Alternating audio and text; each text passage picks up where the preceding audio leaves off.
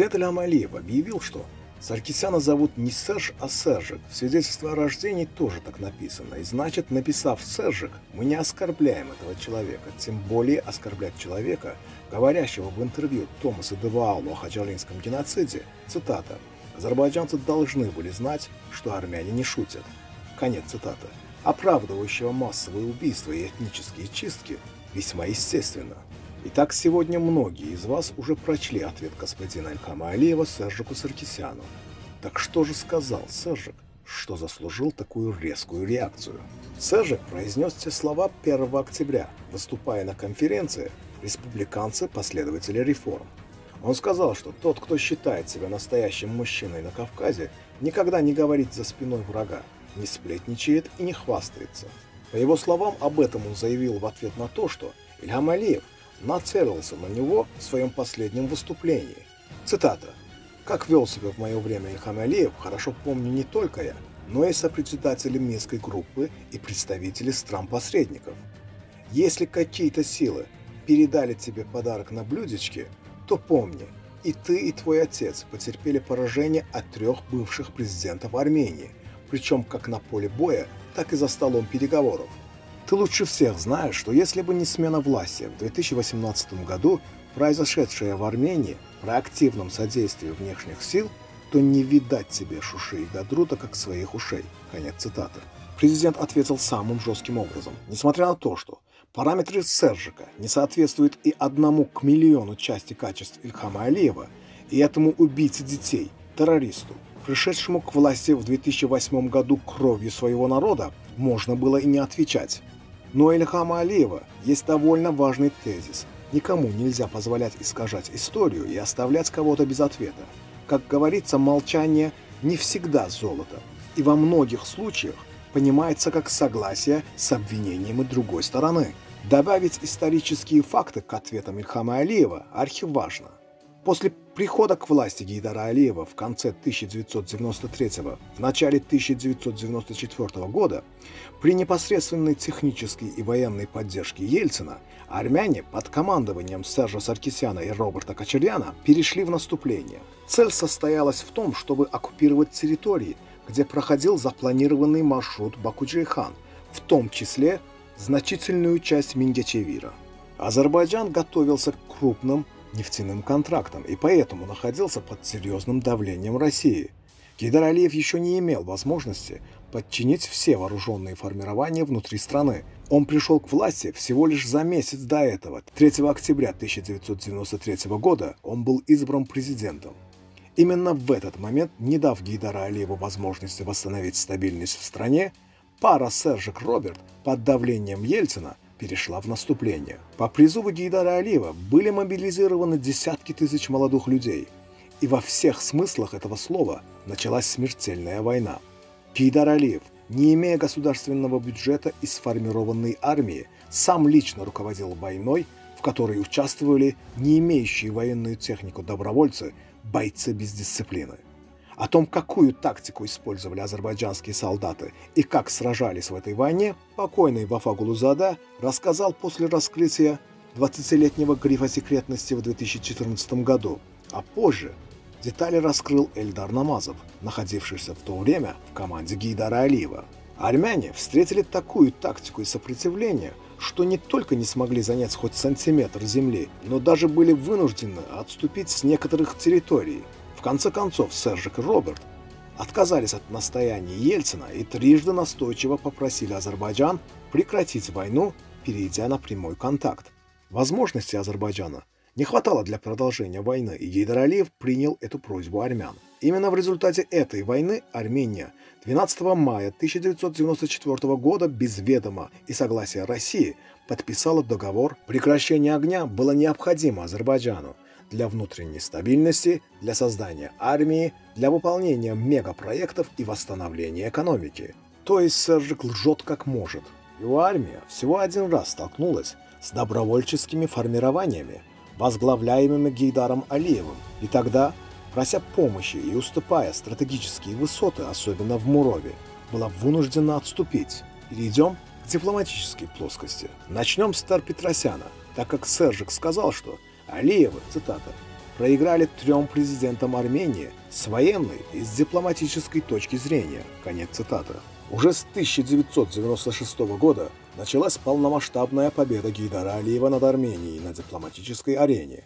Первой ласточкой стал Лиссабонский саммит. На этом саммите 53 из 54 стран подписали документ, подтверждающий, что Армения является оккупантом. Против выступила только сама Армения. Затем процесс встречи президента Азербайджана Гейдара Алиева с ведущими мировыми державами и ознакомление с реалием Азербайджана приобрел более широкий размах. В то время Тер Петросян говорил, что лоббистом Азербайджана выступает компания BP, и предотвратить это невозможно. После первого тяжелого дипломатического поражения вышла в свет знаменитая статья Тер Петросяна. Тогда Петросян писал, что они должны согласиться с тем, что предлагает Азербайджан. Или через несколько лет они же будут умолять о том, что азербайджанцы предлагали им тогда, но Баку же не согласится. Это было дипломатическое поражение Петросяна перед Гейдаром Алиевым. А ты, Сержик, говорил, что вы победили на поле боя и на дипломатической арене. Давайте продолжим. Начиная с 1998 года, Гейдар Алиев добился формализации вывода сепаратистов Нагорного Карабаха из переговорных процессов. До тех пор называемая стороной Нагорно-Карабахская сепаратическая организация после 1999 года вообще не упоминалась. Гейдар Алиев недвусмысленно подтвердил на всей международной арене, что это конфликт Армения-Азербайджан-Нагорный Карабах, Всем стало ясно, что конфликт здесь между Арменией и Азербайджаном, а Нагорный Карабах не сторона конфликта. Следует отметить, тем, кто работал в СМИ в того времени, хорошо известно, что в словосочетании армяно-азербайджана Нагорно-Карабахский конфликт после слова «Азербайджан» уже не ставились запятые, то есть вопрос Нагорного Карабаха как стороны конфликта вышел из обсуждения. Вместо этого было сформулировано следующее название – армяно-азербайджанский конфликт. Когда произошла эта дипломатическая победа, у власти в Армении был Кочерян, то есть второй из трех президентов Армении, тяжело проиграл Гейдару Алиеву и в войне 1993-1994 годов и на дипломатической арене 1999-2000 годов. Гейдар Алиев привел к признанию в мире миллиона бешенцев-переселенцев, а также построил столпы государства, создал основу его экономической мощи и так далее. Дипломатическая активность Гейдара Алиева в тот период была настолько высока, что этим можно было только удивляться. Перед Гейдаром Алиевым, установившим дипломатические отношения с Джорджем Бушем до путешествия на корабле, стоял дипломатический дебил с головокружениями от временного успеха. По сути, пытающийся создать образ бросающего вызов политическому величию Гейдара Алиева, неотличимый от Сурята Гусейнова Роберт Кочерян. Итак, о власти Сержика. Кто же в 2011 году под давлением принял мадридские принципы, а затем и их не выполнил? Кто же в 2011 году под давлением принял мадридские принципы, а затем и их не выполнил? То есть, в отличие от настоящего кавказца, не сдержал свое обещание. Процесс развивался. С 2012 года Сержик начал торговать. Он решил поднять цену с 5 миллиардов до 10 миллиардов долларов за вывод своей армии из Карабаха и освобождение районов. Ильхам Алиев ввел настолько искусную дипломатию, что не только президент Казахстана Нурсултан Назарбаев, но даже президент Беларуси Александр Лукашенко начал оказывать давление на Сарксяна. Благодаря политическо-дипломатическим способностям Ильхама Алиева дело дошло до того, что Армению не поддержал даже ОДКБ, членом которой она является. Напротив, влиятельные члены ОДКБ заняли место рядом с Азербайджаном. Это же почти вчерашние события. Все это знают. Что сказал президент Беларуси Лукашенко в лицо Сержу и армянской делегации? Сержика доконали дипломатические поражения от Ильхама Алиева, и, наконец, развернулась апрельская война. В апрельском бою азербайджанская армия прорвала Аганяновский барьер всего за 45 минут и вошла в четыре оккупированных района Азербайджана. Саркисян был разбит, уничтожен – Ляля-Тапа была освобождена. Давайте вспоминать, ведь это событие вчерашнего дня. Человек извините, что употребляю это слово в отношении Сержика, должен быть таким наглым и бессовестным, чтобы сказать Ильхаму Алиеву, что он победил на поле боя. Если бы Россия не вмешалась бы в то время, то то, что произошло в 2020 году, случилось бы в апреле 2016 года. Почему Сарксян забывает, что он охарактеризовал эти поражения как отступление с некоторых бессмысленных территорий? Почему прекратилась апрельская война? Потому что Сержик официально взял на себя обязательство в кратчайшие сроки освободить семь районов, а гарантом стал российский лидер Владимир Путин. Сержик получил поддержку до выборов. Якобы на выборах этот факт мог сработать вне его пользу и устроил игру. По его мнению, он нашел Юси Васараджа и хотел переложить всю ответственность на Пашиняна, чтобы снова вернуться к власти. Путин оказывал давление, потому что он был гарантом до той степени, что даже Лавров, будучи армянином, объявил в Ереване, что пять районов должны быть возвращены. Сержик же создал западного Пашика для того, чтобы стать гарантом России, заложить основу и тем самым избавиться от давления со стороны Армении. Он сам подготовил почву для этого. Пустил в страну США с биолабораториями, фонд Сороса – европейские неправительственные организации подписал соглашение низкого уровня с ЕС, но он не мог устоять перед Россией, потому что, по его словам, хотел избавиться от излишних, унизительных фраз Путина, Алиева за кулисами, а Лукашенко перед камерами. У Сержика комплекс неполноценности, и так было всегда.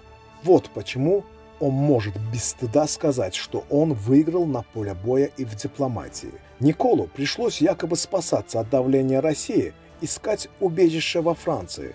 Продолжать оккупацию земель он даже пытался это сделать. Результат? Терпение Ильхам Алиева уже переполнилось, и он начал перечислять свои дипломатические победы на всех платформах – в Сочи, на Валдае, в Мюнхене. И война, и историческая победа. Поскольку последние процессы находятся на виду у всех, нет необходимости говорить об этом. С апреля 2016 года, а то и с 2012 года, прошло не так уж много времени, и каждый может хорошо вспомнить, что в Европе Сержик торговал землей. Теперь он говорит, что победил Ильхама Алиева, которому он проиграл по всем параметрам. Так почему же Путин согласен дружить с чертом, нежели с Сержиком? Почему он считает Кочеряна более достойным, чем он? А потому что Сержик ушел от своего обещания и создал игру, чтобы бросить Армению в объятия Европы. Поскольку Путин все это прекрасно знает, он не считается Сержем во всех смыслах этого слова. Кстати, заявление Сержика было распространено на всех авторитетных армянских сайтах. Теперь его нет, все удалено. Теперь их нет, все удалено. Видимо, кто-то дал Армении понять, насколько врал Сержик и чем это чревато для Сержика и для всей Армении. В этом направлении и было заявление Ильхама Алиева.